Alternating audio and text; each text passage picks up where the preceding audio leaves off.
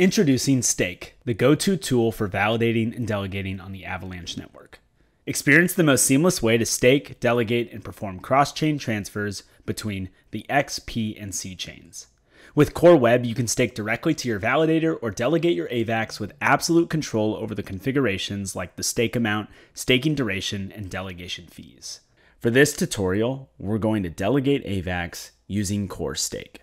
You'll need to make sure that you have the core extension downloaded and that you've created a wallet before this. For this example, I'm going to switch to testnet where we will delegate Fuji AVAX. From the settings menu, I'm going to turn on testnet mode and approve that. Core Stake enables you to delegate without the need to operate your own validator node. So instead, you can delegate your tokens to a validator and receive the rewards for staking and locking your tokens minus a fee retained by the validator called a delegation fee. We do recommend that you conduct your own research before delegating. Quick get started. So here you can choose the amount to delegate to your chosen validator. Each network will require a specific token and a minimum amount of that token to delegate. If you don't have enough tokens, you can use the options below to get more. Out of the options to acquire AVAX, you can transfer AVAX, swap for AVAX, or use the testnet faucet. Since I'm on the testnet mode, that I've already acquired some Fuji AVAX, so what I am going to do is I'm going to transfer some more of that Fuji AVAX from the C chain to the P chain. For this example, I'm going to transfer 10 Fuji AVAX, which I've inputted here. It will give you a minimum export fee, an import fee, and a minimum total. I'm going to confirm this transfer, which will open up a window in the core extension and click approve. This has officially moved the AVAX from the C chain to the P chain on testnet for me. So I'm going to do just under 22 Fuji AVAX.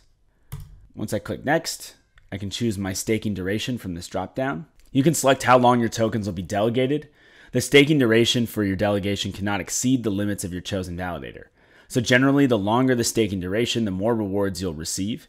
Stake tokens will be inaccessible or locked for the selected period. Once you select the staking duration, you can't change it later, so be sure to double check before you submit. If you want more information, you can click up here to learn more.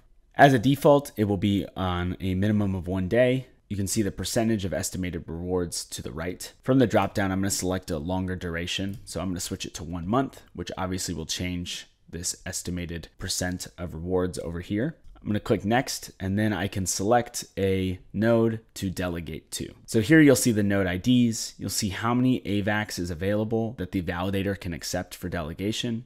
You'll see if there's any current delegators, when the end time is, and the estimated fee. So I'm going to select this top one right here and then click next. You can then choose the rewards address. So once the staking duration is complete, the percentage of rewards that was highlighted before you can either have it go to your wallet directly or you can choose a custom address. I'm going to leave it as the default address here because I'd like the rewards to go back there and click next. Then you'll get a summary. So you can review these details carefully. Once you submit your transaction, the parameters you've configured cannot be changed or undone. So here's the summary, how long it will be, what network you're on, and the total amount that you've staked.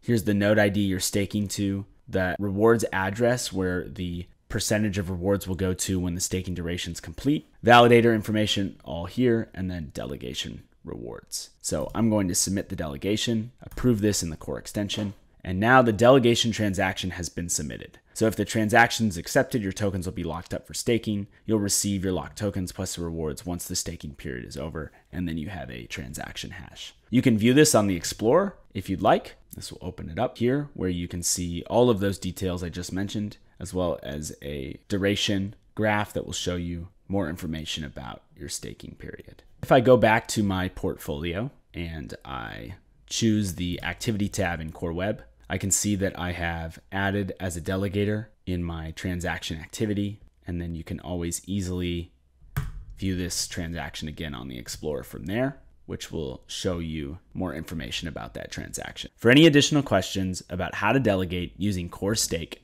please reach out to support.avax.network and an Ava Labs team member would be happy to assist you.